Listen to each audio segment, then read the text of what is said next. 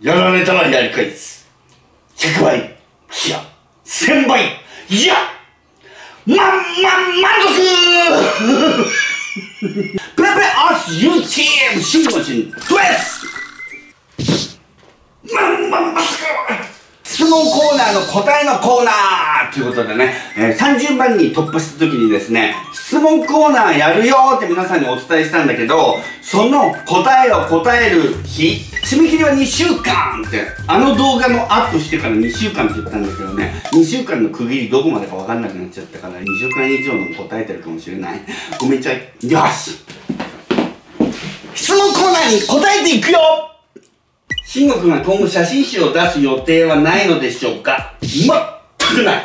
あの、結構いろんなお仕事のいろんなことをこう考えたりとか、あ、ここでこんなことやりたいなとか、あ、じゃあここでこういうことやってみようかとか、歌歌いたいなとか、YouTube 遊ぶとか、写真集って今見てびっくり。全くない。不思議かな慎吾くんの寝る時の体勢は仰向け、横向き、うつ伏せ。もう横向きだよね、これ。で、ここに挟むのある。あすごいいい感じのあるこれじゃないけどこういう挟むのがあるで枕の下にこうやって手を入れちゃう癖があったの。だけどそうするときっと手がしびれて怖い夢を見るっていうのに気づいてから手をなるべく入れないように心がけている。一番のモテ期はいつですか？今じゃないね。わかる。今じゃない。なんとなく25ぐらいじゃないかな。振り替え生まれ変わってもまた香取慎吾になりたいですが生まれ変わりたくないんですよ。ねもういいの。ありがとう。お家にお花飾ってますか？飾ってます今。あのコマーシャルのお仕事とか撮影の時ってなんかお花いただけますよね。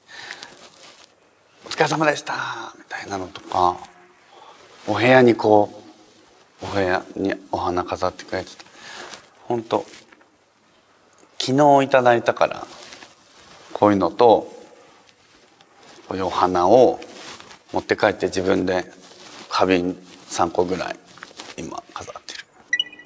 カメラに向かって「愛してます」と言って手を振ってほしいです。愛してます!敗した時どうやって乗り越えてきたんですか？その失敗の一つ一つが僕を大きくしてくれたんです。大きめのバッグが多いように思いますが中はポーチとかでまとめてますか？見せてほしいです。ほう。大きめのバッグ多いね。よくご存知で。でもバッグコロコロ変えるんですよ。今今日小さいよ。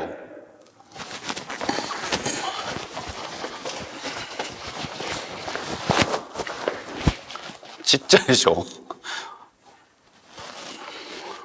?not fake 生きていく上で大切にしてることは何ですか？振り返らないってことですかね。これは僕のね特殊能力なんじゃないかなと思ってるけど記憶がないわけですよ。さっきのこと昨日のこと一昨日のことそうするともう今の人生失敗したこととかよりもこう先へ先へって思える。それはねきっとねすごい忙しさだったりしたからそういう人生を送ってきたからいちいちそこでへこんでられないっていうかそれがこんな風に前向きにさせてくれたのかもしれないけど。すっごい真面目に答えてる。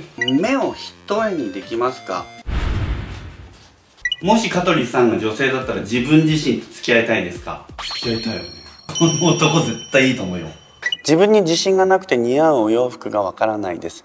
慎吾ちゃんは何を着ても素敵でかっこいいですよね。ファッションを楽しめるようになりたいなって思うんだけどどうしたらいいのかな？自信持って。あなたは素晴らしい。あの似合うものってわかんないしもういろんなの挑戦しようよ。あのあのねこれってあの人似合ってるなおしゃれだなっていう人もいますよ。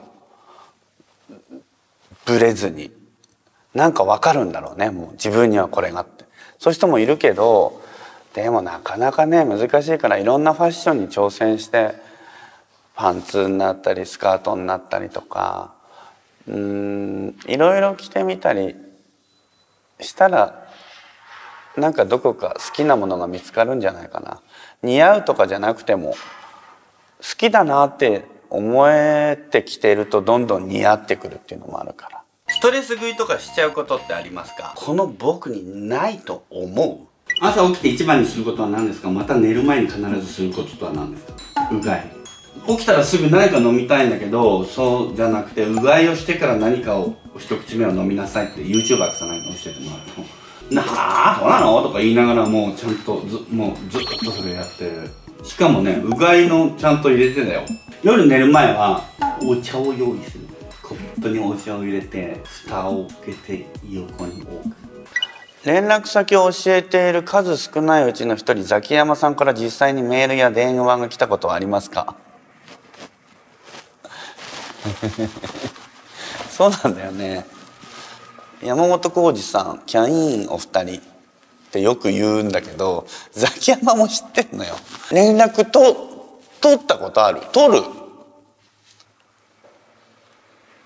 そんな全然頻繁じゃないけどそうそう。連絡と取る。なんか連絡取ってなさそうじゃないですか？ザキヤマって。お誕生日とか僕がなんかお誕生日おめでとうとか言うと返してくれたり。写真とか。うん。あるよ。撮ってる。最近マジックはしていますか得意なマジックがあったら教えてください。500円玉消します。私は男性のこめかみや腕に浮き出た血管がたまらなく好きです。いわゆる血管フェチです。至極のフェチについて存分に語ってください。血管フェチ？こういうとこ。これいいなと思ってんの？血管フェチの人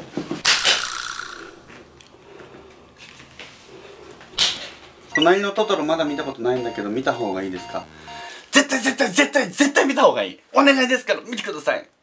のうん。お中国の携帯の待ち受けを見せてください。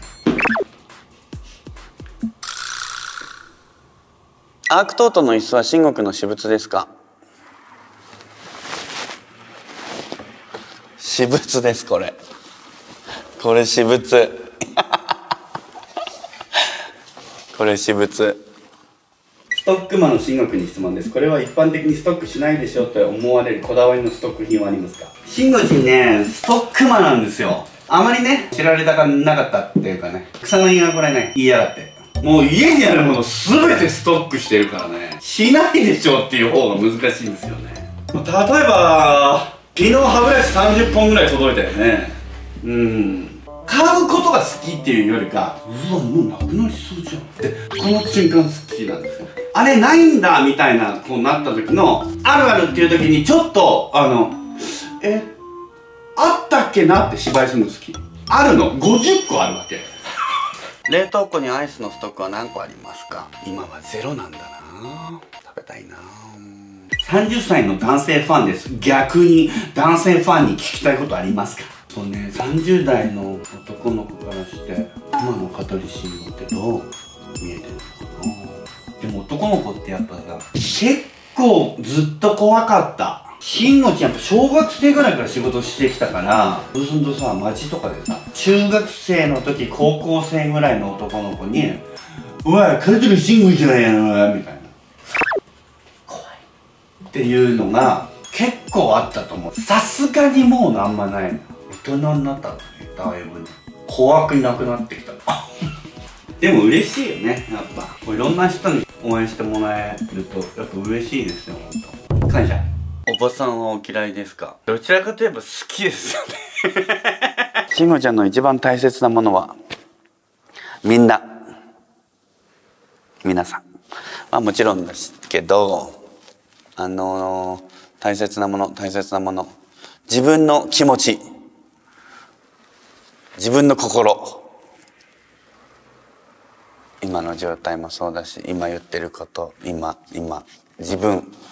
自分大切。どうしてそんなにかっこよくて可愛いんですか？自分のこともみんなのことも愛してるからだよ。何失笑みたいな感じになってる慎吾くんは毎年人間ドックや健康診断は受けてますか？いろいろ気になるお年頃なので心配です毎年は行けてないです。行ってますけど。行かなければと思っております。シンガチンとして曲を出される予定はないですか？おーないけどね。シンガチンは朝ごはんも食べたちょっとシンゴママみたいなやつ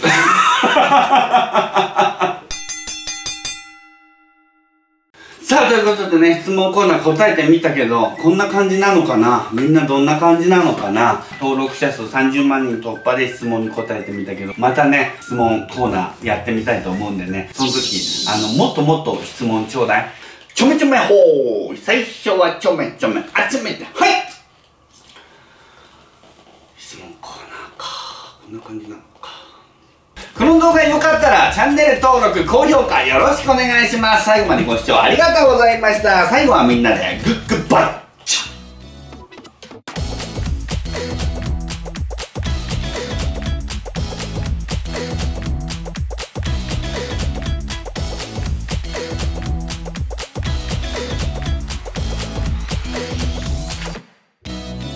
すっごい厳選してさ、この質問には答えられませんっていうのを削ってるから、いっぱい質問ください。待ってます。